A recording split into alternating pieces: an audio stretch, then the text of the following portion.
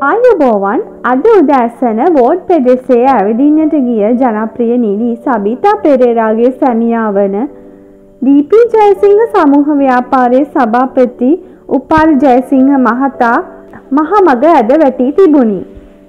මේ වන විට ඔහුගේ මොලය මිය ගොස් ඇතැයි තීරණය කර දැඩි සත්කාර ඒකකයට ඇතුළත් කර තිබේ.